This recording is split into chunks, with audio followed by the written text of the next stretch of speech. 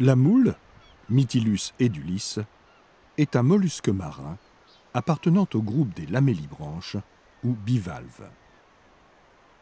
Elle forme des populations importantes sur les rochers de la zone littorale. Une touffe de filaments protéiques et visqueux, le byssus, permet son ancrage au substrat. La moule mène une vie sédentaire. Cependant, le byssus lui permet d'effectuer de très légers déplacements. L'animal est protégé par une coquille calcaire constituée de deux valves symétriques. Chaque valve présente une région antérieure effilée, le crochet, et une région postérieure plus arrondie. En plus de cette organisation antéro-postérieure, on distingue une région dorsale, une région ventrale, une valve droite et une valve gauche. Les deux valves sont unies dans la région dorsale antérieure par une charnière.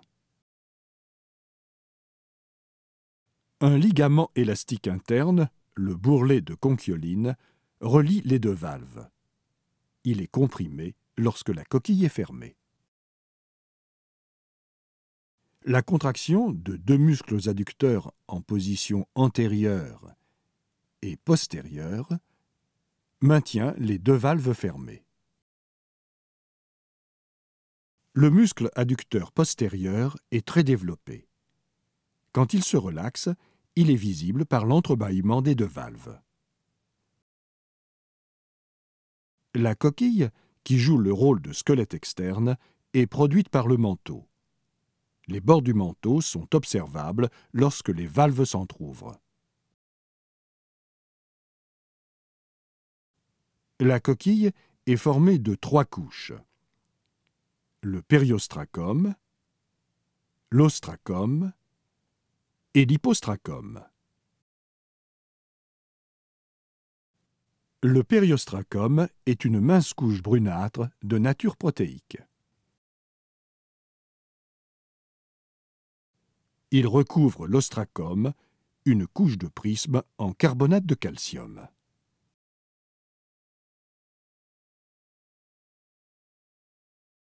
Ces deux parties de la coquille sont sécrétées par les bords du manteau. Les stries visibles à la surface de la coquille soulignent la croissance discontinue de l'animal. La troisième couche, l'hypostracum ou nacre, tapisse l'intérieur de la coquille. Elle est formée par de fines lamelles sécrétées par l'épiderme du manteau.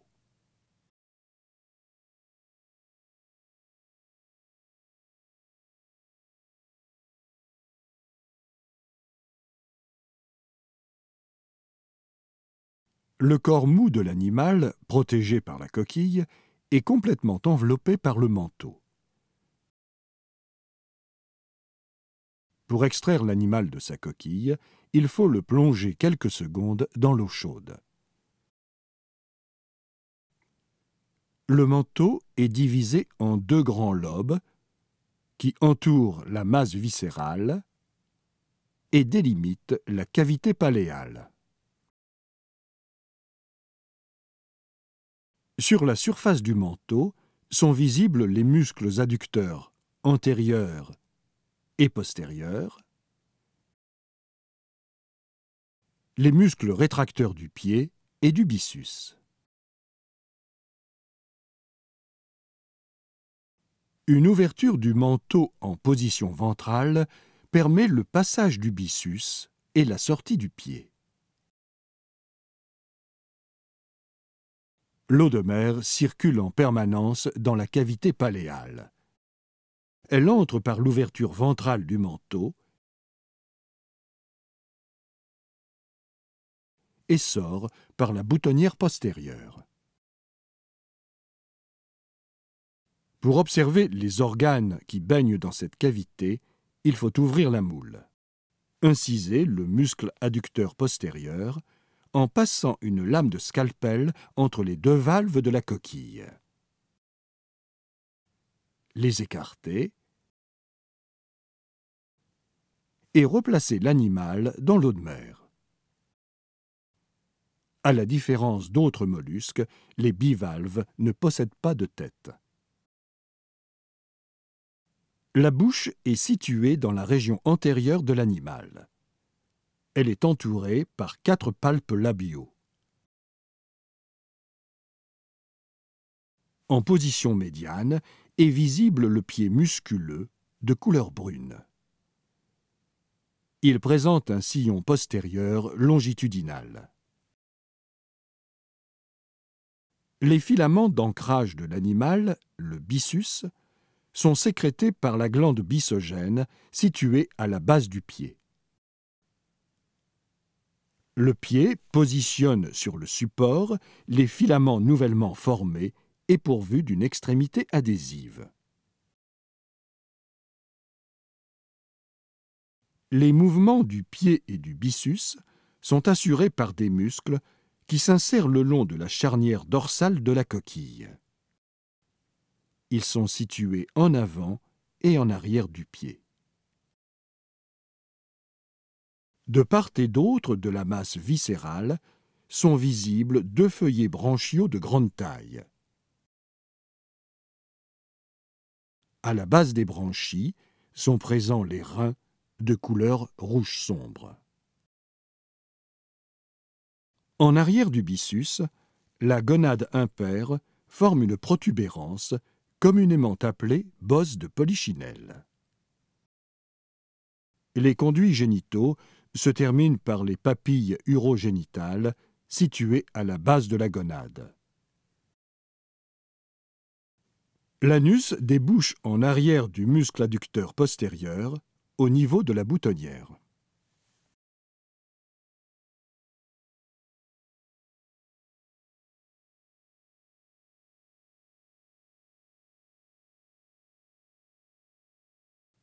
Les moules lamellibranches sont des organismes filtreurs microphages.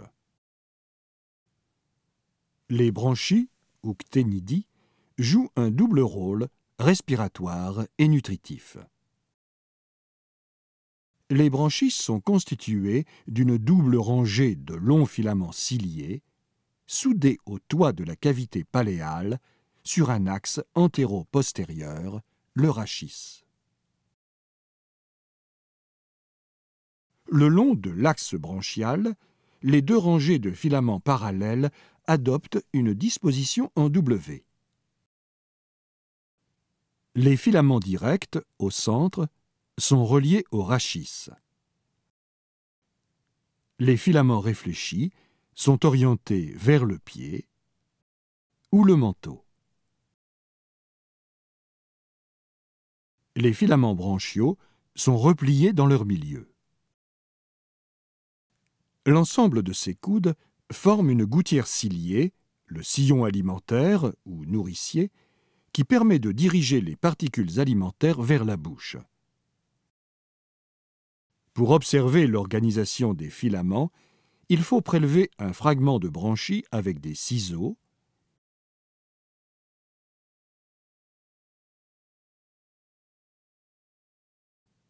et le déposer sur une lame de microscope dans une goutte d'eau de mer. Séparer délicatement les filaments et les couvrir avec une lamelle. L'observation de cette préparation au microscope permet d'apprécier les jonctions entre les filaments branchiaux. Les filaments réfléchis sont reliés aux filaments directs par des jonctions conjonctives.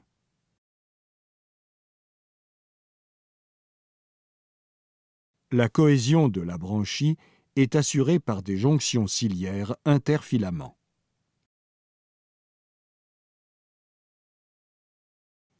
Le battement de milliers de cils qui tapissent les filaments est visible à fort grossissement.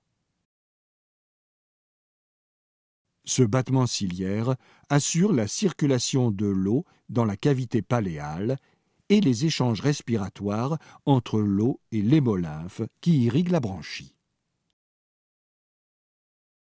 Des hémocytes à rôle immunitaire sont présents dans les lacunes entraînées par la circulation sanguine.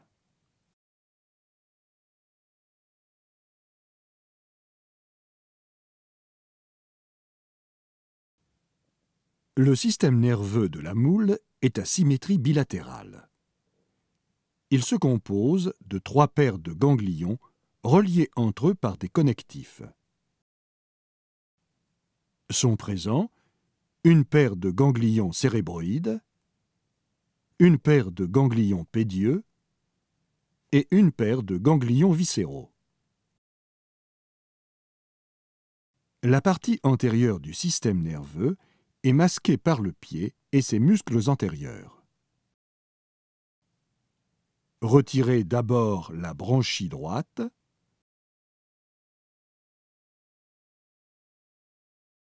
coupez le pied à sa base, ensuite soulevez et sectionnez les muscles du pied.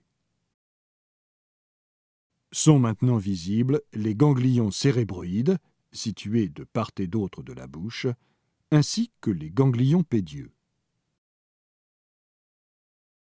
Dégagez délicatement les connectifs qui relient ces ganglions entre eux. Sont maintenant visibles les connectifs cérébro-pédieux ainsi que les connectifs cérébro-viscéraux. Les ganglions viscéraux sont visibles à proximité du muscle adducteur postérieur. Des ganglions partent des fibres innervant le manteau, la bouche, le pied et les organes de la masse viscérale.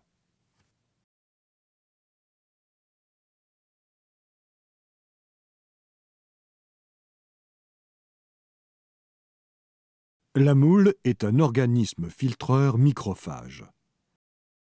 Elle se nourrit du plancton en suspension dans l'eau.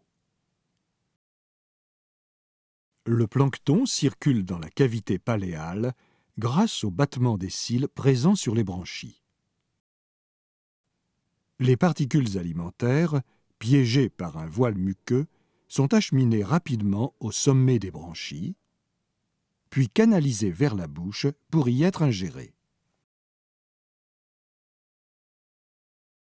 Ce phénomène peut être observé en déposant une goutte de colorant à proximité d'une branchie. Le pigment est rapidement piégé dans du mucus et acheminé vers la bouche par les battements ciliaires. La bouche est entourée par quatre palpes labiaux qui contribuent à l'ingestion de la nourriture. Le tube digestif comprend la bouche, l'œsophage, l'estomac, l'hépatopancréas, l'intestin. Il se termine par l'anus. Le tube digestif est maintenant visible dans sa totalité. De la bouche part un court œsophage qui débouche dans l'estomac où commence la digestion des aliments. L'estomac présente un diverticule à parois internes ciliées, le sécum pylorique. Celui-ci contient une tige cristalline qui se dissout dans l'estomac, libérant des enzymes digestives. Cette digestion se poursuit dans l'hépatopancréas et dans l'intestin, qui présente des circonvolutions dans la masse viscérale. Le rectum traverse le cœur et aboutit à l'anus, localisé près du muscle adducteur postérieur. Les excréments sont emportés avec le flux d'eau sortant de la cavité paléale.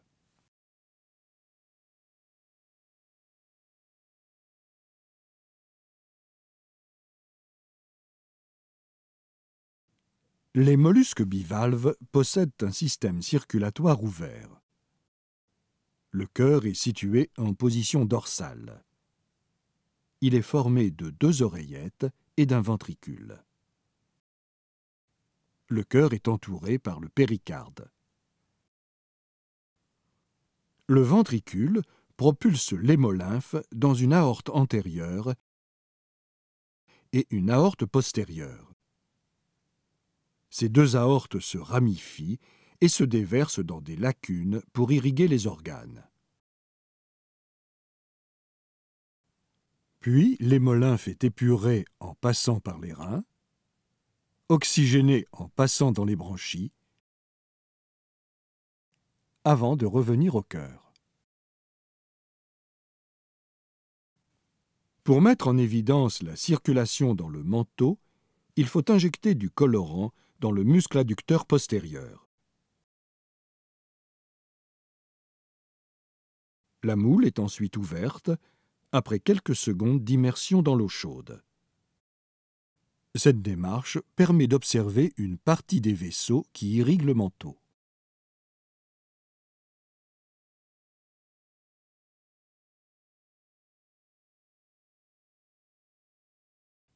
Chez la moule, les sexes sont séparés, mais il n'y a pas de dimorphisme sexuel. La gonade unique, située à l'arrière du byssus, forme une protubérance appelée bosse de polychinelle. À maturité, les gamètes sont stockés dans la gonade et aussi dans le manteau.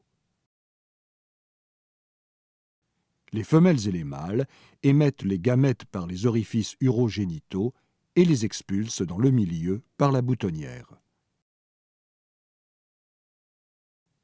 La fécondation est externe.